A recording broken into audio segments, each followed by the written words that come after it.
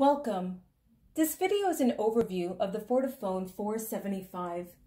The features and functions demonstrated will be very similar to the other FortiFone models, which are the FortiFone 175, 375, and 575. Let's review the phone buttons. To the left and the right of the phone display, we have the programmable keys. These keys can be programmed for different functions or features, such as extension appearance, twinning, or intercom paging. The top right hand corner is your message waiting indicator light that will flash when you receive new voicemail messages. Next, we have the hold button, transfer button, conference button. In the middle, we have our navigation keys. To the right of that, we have our call history button, button to back up or disconnect the call. Looking at the bottom half of the phone, we have the voicemail button, directory button. To the right, we have the headset button, redial button, and speakerphone button. At the bottom of the number keypad, we have volume buttons to reduce the volume, increase the volume, or mute the volume. Next, we're going to demonstrate an incoming call. So we see the call ringing in and the soft keys have changed. To answer the call, ignore the call, which turns off the ringing or mute the ringing. We can forward the call to a different extension or reject the call, which in that situation will follow the busy call handling of the extension, which by default is set to go to voicemail. We're going to answer the call. Next, we're going to demonstrate a conference call or a three-way call. What you need to do first is press the conference button.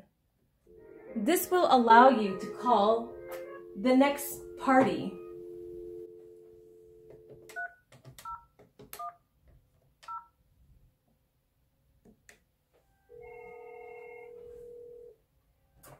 Once that second party has answered, press the conference button a second time to connect everyone together.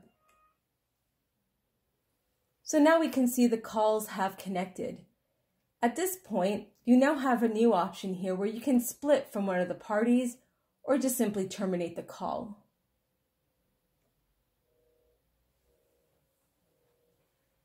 Next, I'm going to demonstrate the transfer feature. So we're going ahead and answer the call.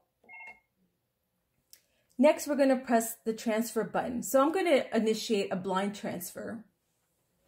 So we'll press the transfer button first, dial the number that we want to transfer the call to, and hit transfer again to complete that blind transfer.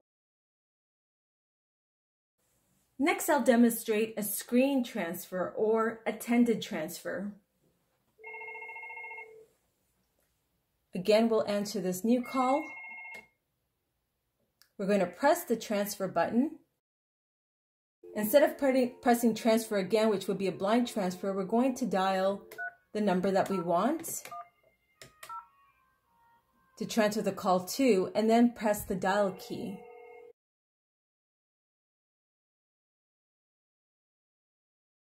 Once that party has answered, we can have a conversation with them to determine if they want to take the, the call on hold or not. If so, we complete the transfer by pressing the transfer button again, or we can end it, which in that case will allow us to resume the call connection of that first call. Next, let's review the directory. The directory will list a local directory and remote directory. The local directory are your personal contacts that you generate yourself.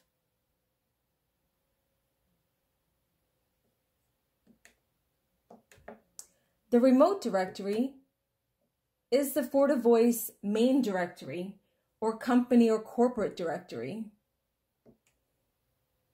So this gets downloaded from the FortiVoice phone system. And you can review any of these or perform a search function if you want to locate a specific name or number. And you can initiate the dialing uh, to initiate a call to any one of these contacts. And the same would apply for the local directory as well. Next, let's review the call history. So the call history keeps track of all incoming and outgoing calls made to and from the extension. This also include any missed calls. Missed calls can also be would also be displayed on the phone itself. So let's initiate that.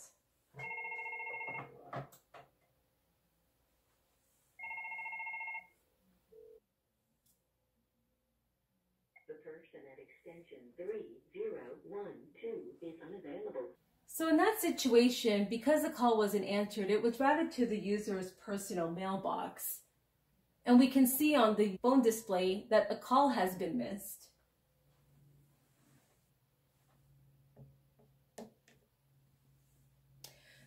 Let's review the Do Not Disturb. So there's a DND button here. That represents the Do Not Disturb feature. Do Not Disturb by default is predefined to route to a user's personal mailbox when enabled. So this button here will, turn on or turn off Do Not Disturb. Do Not Disturb activated.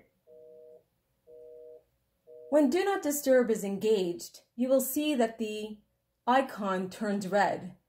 There will also be a little icon on the top right hand corner indicating that no calls will be received on this desk phone and is automatically being routed to the do not disturb call handling that's in place. We can press do not disturb again to disable it.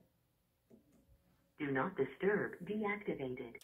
And that concludes the overview of the FortiFone 475. Thank you for watching.